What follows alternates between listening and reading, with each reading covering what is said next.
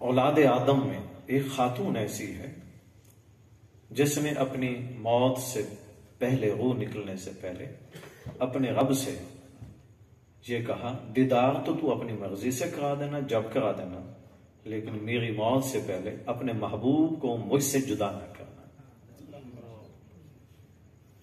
बस मैं उसको देख लू, किसी और को नहीं। वो सैयदा खदीजतुल कुबरा रज़ी अल्लाह तहा थी।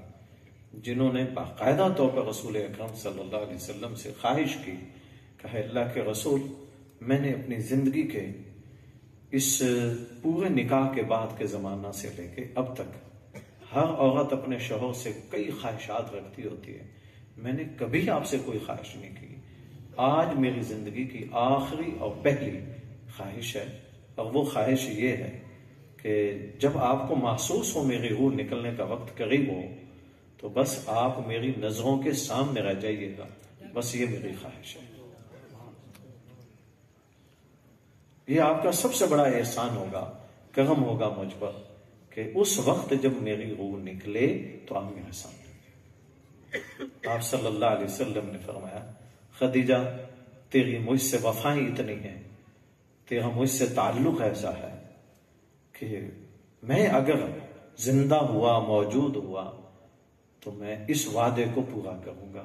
तेरी तवक्को से बढ़कर।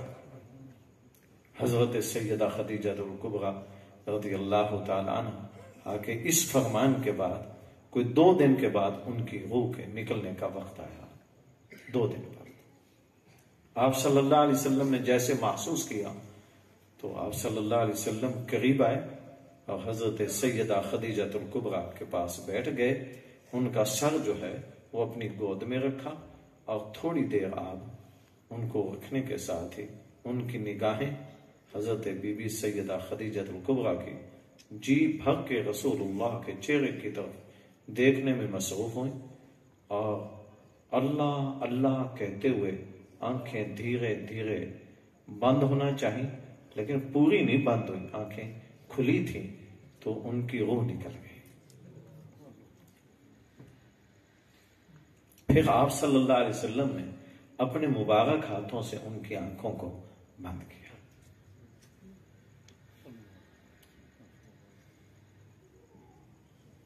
लोग पूछते हैं कि बीबी सैयदा खदीजत अल्लाह का ये मकाम, ये पहचान, ये तारुफ यहीं तक बस नहीं था।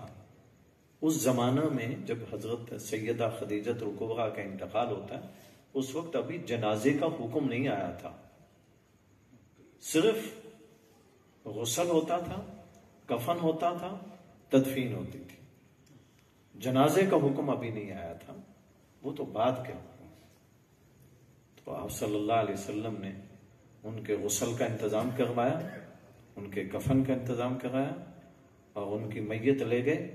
जब कब्र में उतारने का वक्त आया मेरे आका, उनकी कब्र में खुद पहले लेटे।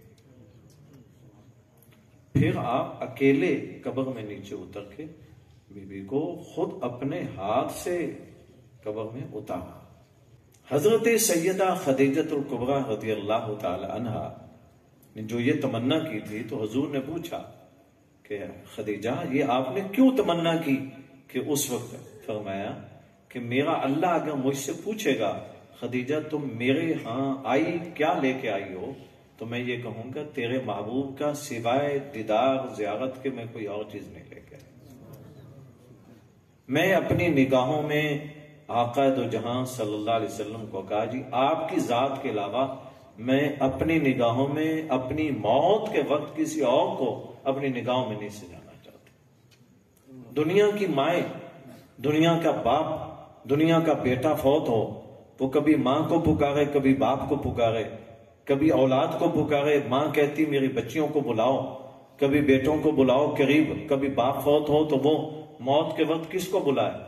लेकिन हज़रत सैदा खदीजत रुकबा रज़ी अल्लाह तहा तालीम दे गई कि नहीं, मौत के वक्त तुमने अगर किसी को पुकारना, बुलाना, जिसको देखना है तो इमामुल महबूब का नाम लिया। कि उनको कहा जी आपकी जात के अलावा मैं इन निकाहों में किसी और को नहीं सजाना चाहता।